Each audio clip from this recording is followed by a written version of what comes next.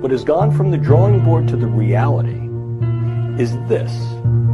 The use of neural interfacing and physiological interfacing through the idea of remote controlled small scale systems to create a nanoswarm of biopenetrable materials that you cannot see that can penetrate all but the most robust biochemical filters that are able to integrate themselves through a variety of membranes, mucous membranes, and wherever mouth, nose, ears, eyes, and they can be done in such a level that their presence is almost impossible to detect, and as such, the attribution becomes exceedingly difficult to demonstrate. The idea here is to put minimal sized electrodes in a network within a brain through only minimal intervention to be able to read and write into the brain function in real time, remotely.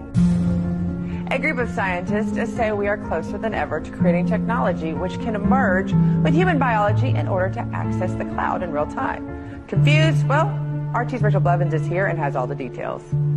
Can you imagine technology that is so advanced it could provide you with instant access to the world's knowledge and artificial intelligence as soon as you think of a specific topic? According to a group of scientists, neural nano robotics may be developed to enable a safe, secure, instantaneous, real-time interface between the human brain and both biological and non-biological computing systems. This level of technology could include brain-to-brain interfaces, brain-to-computer interfaces, and specifically brain to cloud interfaces. Technology linking the brain to the cloud could drastically alter the state of communications between humans and machines.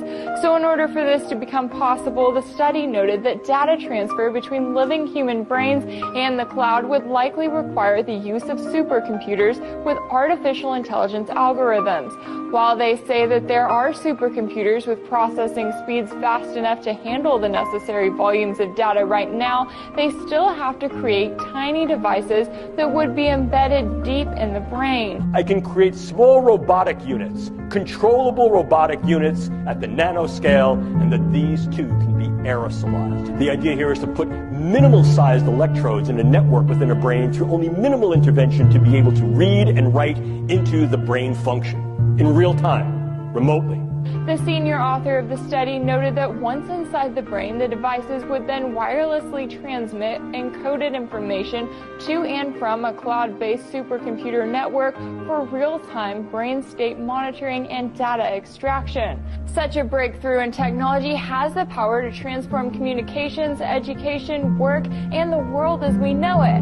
But with the requirement of tiny devices being inserted into your brain in order to access the cloud, it remains to be seen just how many people will be willing to participate. This is a very touchy area, but the disruptive effect can be huge. It can target key individuals and influence in ways that are kinetic and non-kinetic the attitudes, beliefs, thoughts, emotions, activities, and relative vulnerabilities and predispositions of those individuals for whom may threaten us. It used to be that I need to be exceedingly close to someone to now influence them with a weapon, and now what we see is we create both distal potential as well as much more capable potential to affect them in a variety of different ways.